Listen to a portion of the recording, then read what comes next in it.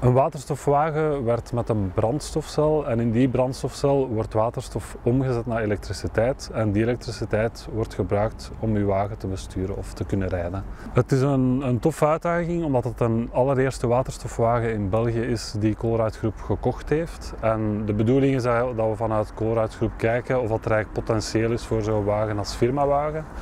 En ook wat dat de voor- en de nadelen zijn rond de tanken zelf, rond waterstof. Het is tof omdat het eerste de allereerste waterstofwagen in België is. Uh, dat is natuurlijk een uitdaging. Daarnaast is er jammer genoeg niet al te veel infrastructuur. En gelukkig hebben we zelf ons tankstation op Dassenveld, waar dat we vandaag kunnen tanken. En dat maakt het wel boeiend. Het voordeel van deze waterstofwagen is dat er enkel water uitkomt. Dus geen CO2, geen fijn stof en dat is goed voor het milieu.